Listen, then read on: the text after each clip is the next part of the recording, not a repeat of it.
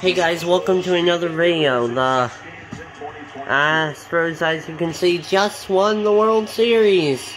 I was rooting for them the whole time. I have a bunch of their cards, and they are very lucky to have won. All thanks to Yordan Alvarez.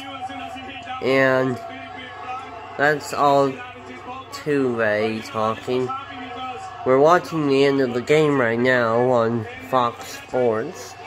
The Astros have finally won. They didn't win last year next to the Braves because they couldn't, but with the Phillies, they could. Dusty Baker, what does he mean to this team, Jose? He means everything. Yeah. Many, many. Dusty Baker, captain. And, you know,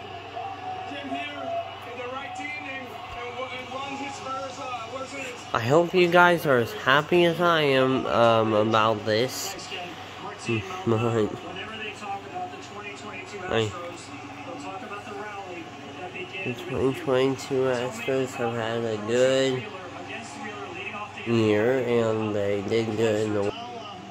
Anyway, see you later, guys. Have a great rest of your night, and me enjoy. And also remember to like and subscribe if you like my content. Check out all my other cool videos of all the scores and everything. The score was 4 to 1. See you later.